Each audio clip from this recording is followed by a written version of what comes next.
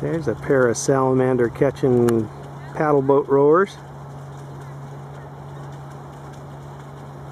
Got on their safety jackets. Cool. Looking good, ladies.